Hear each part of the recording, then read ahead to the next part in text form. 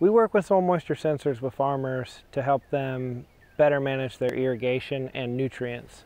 Up here in North Florida, for a crop like corn, a grower could put out $1,000 per acre to make $100 per acre.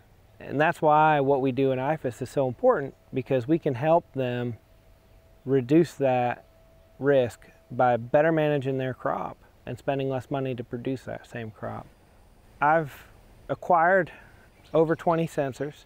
I'm able to lend those sensors out to farms where we might have a grower who's on the fence about adopting the technology. And so this is a free way for them to try the technology, get comfortable with it, and decide if it's something that they would like to use on their farm. Up to around 80% of the farmers that try the technology for free first through us go ahead and adopt that practice. They love having that information. They're going to grow a much more efficient crop.